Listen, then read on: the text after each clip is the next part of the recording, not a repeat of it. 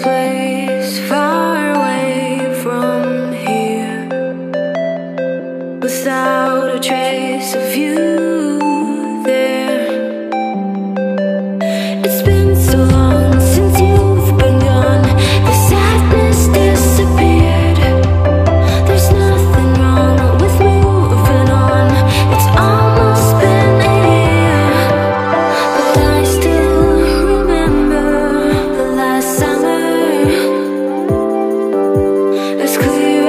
to